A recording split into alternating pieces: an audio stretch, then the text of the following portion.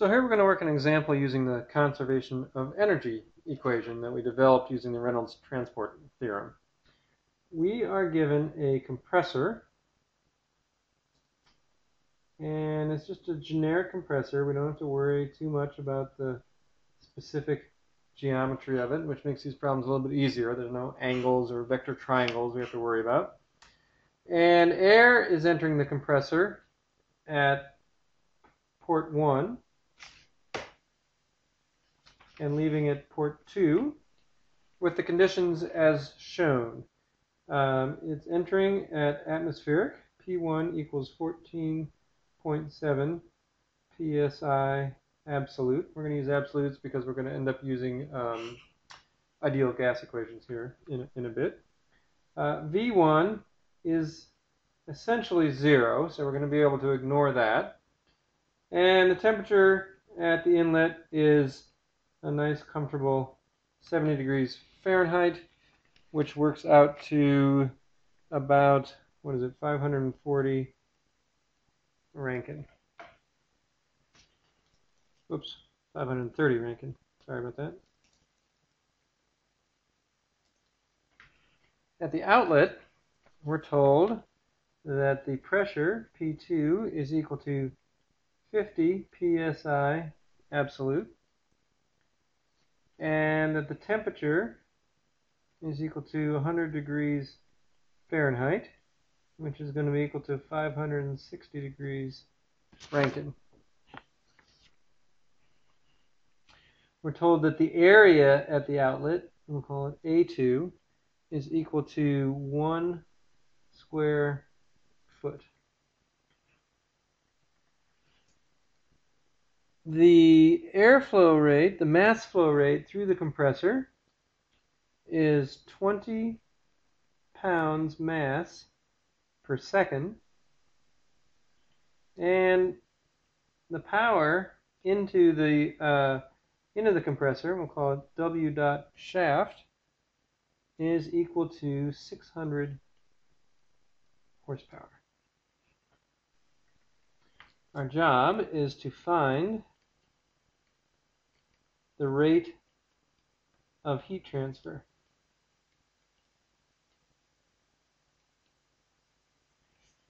And we'll call it Q dot from the compressor, to or from the compressor. I guess we should say to the compressor. And then if it ends up being negative, we'll know that it's actually coming from the compressor. So we're going to make a number of uh, standard assumptions. We're going to assume steady flow inside the compressor. We're going to assume uniform flow across the inlet and the outlet. We're going to treat the gas as, uh, as an ideal gas. We're going to assume that the velocities are um, perpendicular to the inlet and the outlet, or, or, or, yeah, perpendicular to the control surface of the inlet and outlet. Uh, we're going to ignore changes in elevation, and uh, we're going to ignore the kinetic energy or the velocity coming in at the input, at the inlet, sorry. So the first thing we're going to do, of course, is draw our control volume around the compressor like that. And so we know that the only control surfaces where anything is actually crossing the, oh, sorry, any air is crossing our control um, our, our boundary are given by the solid red lines. And then, of course, there is shaft work being done and heat being um, input into the system, where again, we're expecting Q to Q dot to be negative, but uh, by convention, we draw a positive Q dot as going into the system. So using what we know about the conservation of energy from uh, that we developed from the using the Reynolds transport theorem, we showed that m dot was equal to the enthalpy uh, per unit mass out minus the enthalpy in plus v naught squared minus vi, sorry, v out squared minus vi squared over 2 plus g times z out minus z in, the change in height.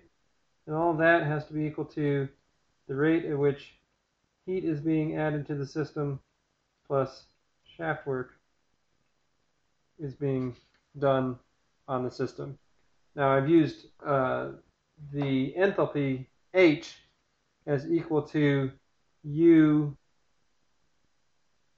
plus P over rho because it will make our uh, it'll make the calculations here a little bit easier for us.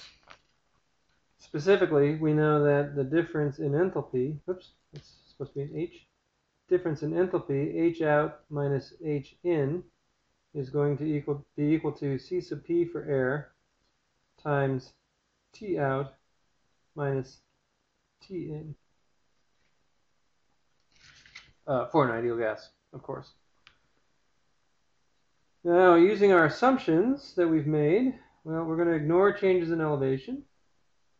We're going to ignore the kinetic energy of the flow coming in because uh, we're told that the velocity is, is close enough to zero.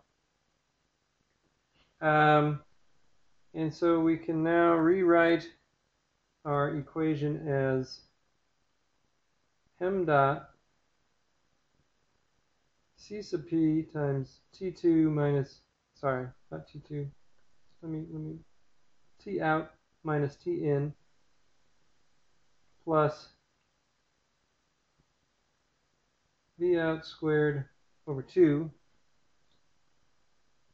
is equal to Q dot in plus the shaft work being done. So the mass flow rate we're told is equal to, what did I say, 20 pounds mass per second. So we know the mass flow rate, we know the temperatures, we know C sub P for air, we know uh, W in, we're trying to find Q. The only thing left that we need to find is V out, which here I've called V, um, VO. And we can find that by knowing that um, for uniform flow across the outlet, that it has to be equal to the volumetric flow rate, which I'm going to call V dot in this case, so that it's not uh, not to be confused with Q dot, the, the, the rate of heat transfer, divided by the cross-sectional area, which is just going to be equal to the mass flow rate over rho, that gives us the, the uh, volumetric flow rate, over A2. And then using the ideal gas law, where P equals rho RT, we can substitute and get this is equal to the mass flow rate over the area at the outlet times R times the temperature at the outlet divided by the pressure at the outlet. And that's going to be equal to 20 pounds mass uh, per second over one square foot, that's the outlet area, times R, which is 1,716 uh, foot-pounds per slug Rankine, but we need to get rid of a pound's mass, so we're going to divide that by 32.2 to give us 53 foot-pounds per pound mass Rankine times 560 Rankine is the temperature at the outlet. Times uh, 1 over our pressure is 50 psi pounds force per inch squared and we need to convert that to square feet. So we need 144 square inches here so we can cross off the square inches we can cross off the square feet we can cross off the pounds force, we can cross off the pounds mass, we can cross off the temperature in Rankine. We're left with feet per second, and uh, to be precise, 82.9 of them. So this is VO. I apologize that in my drawing I spoke of um, section 1 and section 2. Obviously section 1 is the inlet, section 2 is the outlet. So I think that I have um, been a little loose and free with my subscripts here saying VO or V2 or AO or A2. Um, hopefully it's clear. We're solving for Q in, so we write that as Q in equals, all of this on the right hand side, we get m dot times C sub p T out minus T in plus V out squared over 2 minus W in at the shaft. We're, we're applying 600 horsepower to our compressor, so uh, because we're applying um, power into our control volume, uh, W dot will be positive, and then we're subtracting off on the end here, so we'll end up subtracting um, a negative number. But now we know all the pieces that we need to know, so we just have to do a little more arithmetic.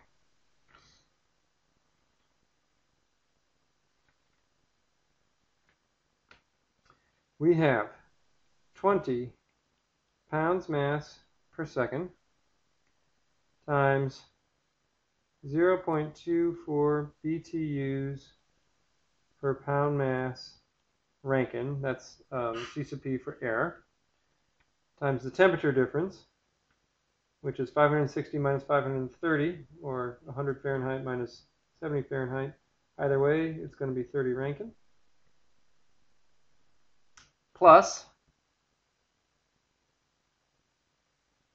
our velocity, which we just said was uh, 82.9 feet per second squared over 2 minus 600 horsepower.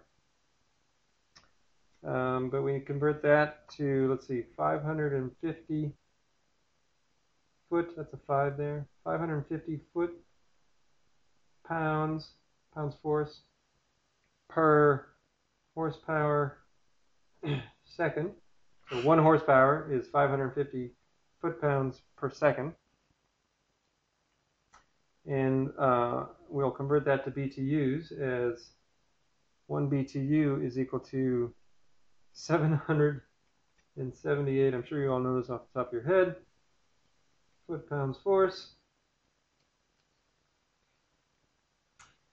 And we go through with our calculator and push a whole bunch of buttons, and I get minus 277 BTUs per second.